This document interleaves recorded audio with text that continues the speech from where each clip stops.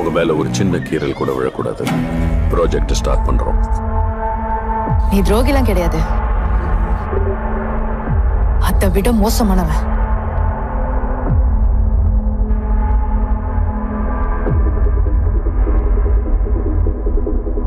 அந்த மினிஸ்டர் ஒவ்வொரு காயா வெட்ட ஆரம்பிச்சிட்டான். அடுத்த வெட்டு உனக்கு தான்